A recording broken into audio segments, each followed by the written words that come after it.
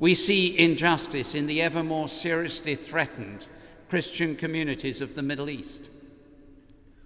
The Prince of Wales highlighted their plight last week.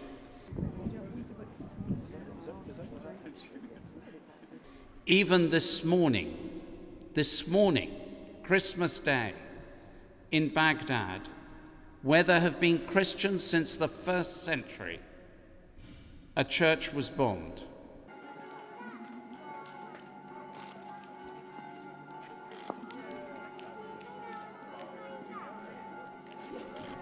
Christmas.